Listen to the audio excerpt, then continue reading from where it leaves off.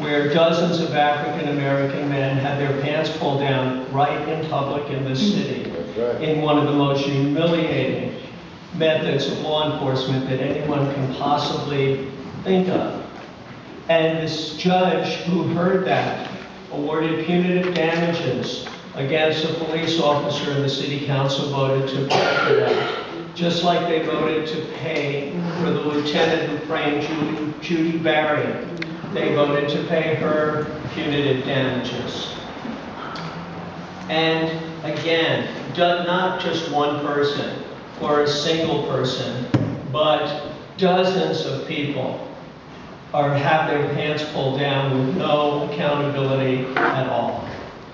I could go through all the wrongful deaths, but I, uh, that I, that I've been involved in and that I haven't been involved in.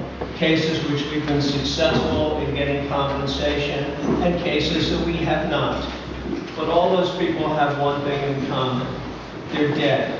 And the compensation is meaningless for them. And it's next to meaningless for their families. What we need to do is make sure those people don't die in the first place. Because what we can do as lawyers is so pathetically minimal. Uh, We have to stop it from happening in the first place. So after this went on for years and years, we had a five-year period of the negotiated settlement agreement. We got some reforms done. Uh, we- It was going to be extended one time to seven years, and it was. At the end of seven years, the police department was not in compliance. And we went to the judge and we got it continued to nine years. And after nine years, the same thing, and we got it continued for 11 years. And now we're in the, uh, January will be the end of the 10th year. Uh, The monitor team that was first appointed was half police officers uh, and half Justice Department lawyers. And they were chosen by the Oakland Police Department, and we went along with it. And they found this department in chronic noncompliance, uh, chronic noncompliance, and pointed out, they pointed out the strip search problem in one of their reports years before the lawsuit was filed. If the Oakland Police had listened to them then, they would not have been sued, and the people would not have had been humiliated the way they were. Um, That, that monitor team left. They walked out in the middle of the worst recession that this country's seen since the Great Depression. They were paid seven, eight hundred thousand a year, and they walked out because they felt they could not do anymore. And that made me, who was getting ten thousand a year, feel like, what am I doing? You know, well, what, what's going on here? So then we tried to interview another monitor team, and this one was all police. Every single one was a police, an ex-police officer, high-ranking, the chief of Rochester, a Miami uh, police officer, a, a guy who was a Republican and chief of police of a small town in New Hampshire. This is the current monitor team. And this is the team that's found them in chronic noncompliance again. 300 years of law enforcement experience these people have, and they've, and they've had the exact same response as the first monitor team, and as all of you. So that made me start thinking there's something going on here that's different from other cities. That makes, that makes it bad. But we had, a but how could this be? We had a liberal Democratic mayor. We had a progressive city council. Well, I'll tell you that that city council has never, ever in all the years asked John and I to go there and to tell them what is wrong or why we're doing what we're doing or had any investigation whatsoever or any accountability of, of the police at any time. Not a single council member has reached out to me uh, for the first 11 years of NSA, first 10 years of NSA. Recently, it started to happen a little bit. Uh, Mayor Dellums never met with us or the monitor, not a single time. Never, never came to a meeting the entire time that he was mayor. And that's because they're afraid. They're afraid of crime. They're afraid of being badmouthed. They're afraid of the, of the union. They're afraid, period. It's just not uh, politically acceptable to help poor people who may not vote because they have felonies or because they're just working so hard they can't get it together. So those people are forgotten by our elected leaders. And it really makes no difference what their liberal conservative bent is, it's the exact same response. In fact, it's worse here than elsewhere, in my experience. So it came to 2011, and then Occupy Oakland happened. And Occupy Oakland proved to me that this process is broken and a failure. Because the response was exactly this, characterized exactly the same way as the response to the port by the media. The worst, the worst response by any law enforcement agency on the CNN, on Jon Stewart, every single place across the country, they were characterized as the worst. And they were the worst. So they hired Tom Frazier, another in a series of endless consultants the city has paid for to tell them they're doing a good job. Tom Frazier looked like it was going to go okay. He was chief of police of Baltimore. He was a San Jose police officer for over 20 years. And what did he conclude?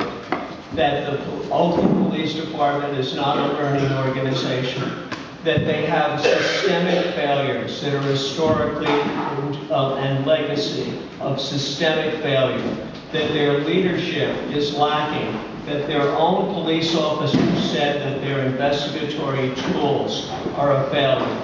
Do you see Tom Frazier here today? No, because he didn't give the city elected people what they were looking for, and he is gone.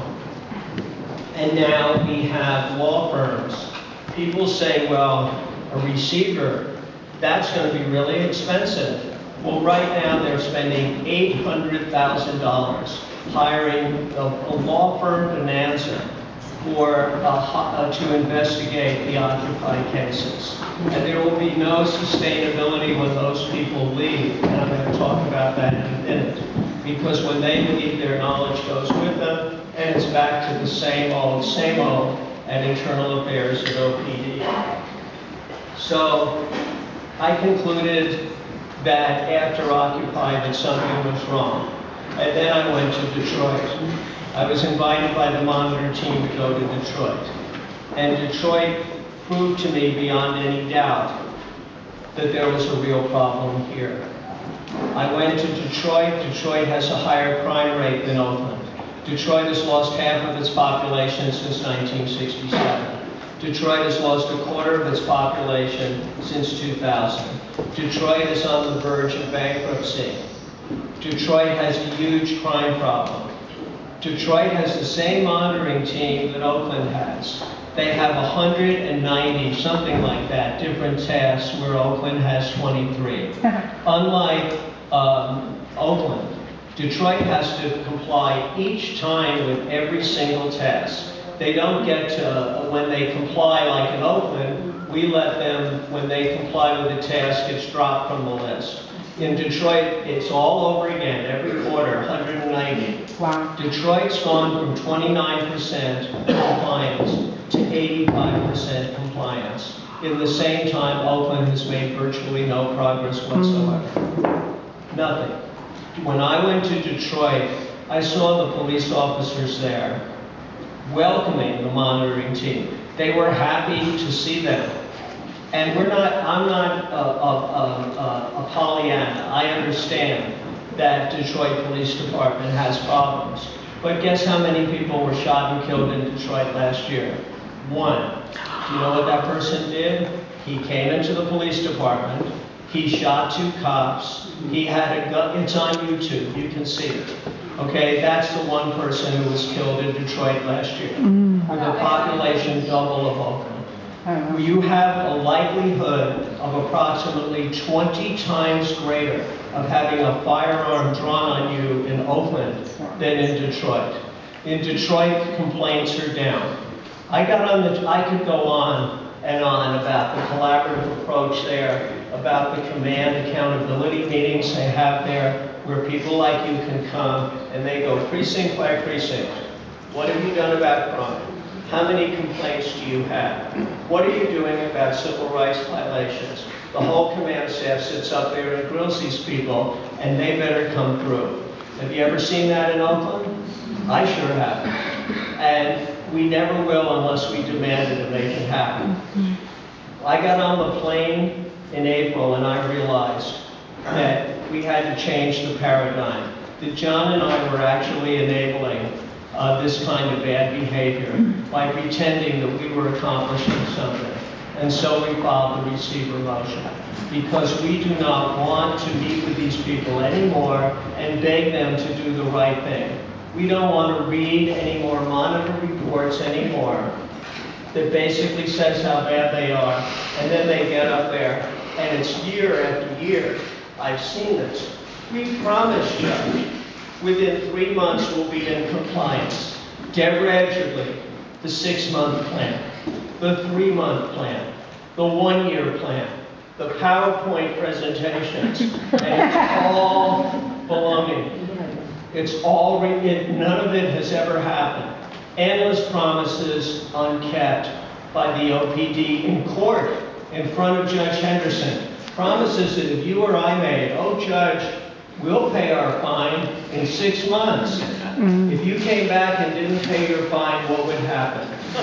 Well, what happens with the OPD is they make the same promise again and again and again. And they, it's just unpromised out.